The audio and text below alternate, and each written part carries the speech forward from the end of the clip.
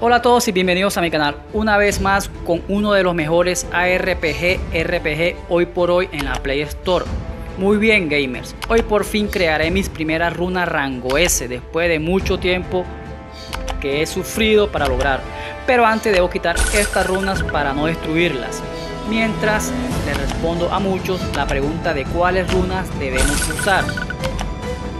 Para mí sinceramente eso es difícil de responder ya que como están viendo apenas estoy creando las primeras rango S por lo cual son las mejores que tengo y voy a usar por simple lógica no creen chicos conclusión mientras no tengamos runas de sobra no podré o no podremos decirles cuál es mejor y cuál no ya que muy seguramente tendrás runas al azar las cuales podrán hacer rango S y les tocará usarlas por obligación como a mí en este momento.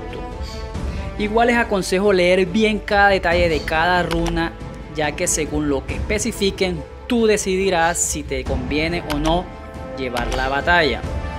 Siempre y cuando obviamente tengas más de una, perdón, más de dos runas para elegir cuál o no usar. y como pueden ver siempre ocupamos 5 runas de la misma clase o signo para crear una de mayor rango. Mi consejo es no dejar de hacer asalto de jefes. Entre mayor nivel, mucho mejor para todos nosotros.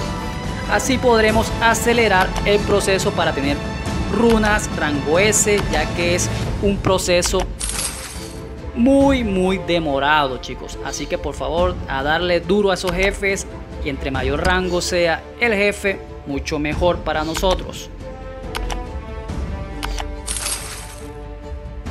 También les aconsejo cuando lean, miren bien detalladamente las especificaciones de todas las runas. ¿Por qué? Porque hay unas runas que solo funcionan en el modo PvE y otras que funcionan en todos los modos. Y las mejores son las que funcionan en player versus player online. Esas son las mejores runas que siempre debemos usar cuando vayamos cuando estemos o vayamos a luchar en un pvp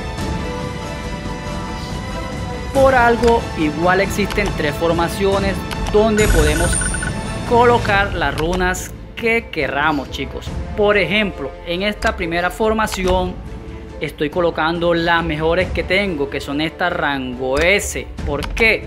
Porque si yo tuviera muchas runas a elegir, aquí colocaría solamente las runas que me ayudarían en batallas player versus player o PvP.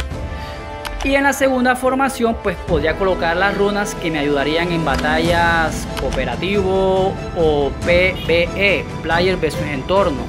Así que chicos, por favor, para eso tenemos tres formaciones en las cuales podemos equipar las runas que tengamos en el momento para cada determinado modo de juego.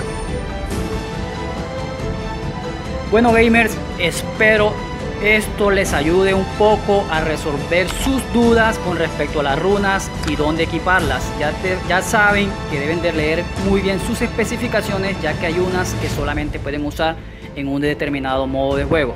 Muy bien chicos, si te ha gustado este video recuerda dejar tu gran like, compartir con tus amigos, suscribirte si aún no lo haces y hasta la próxima.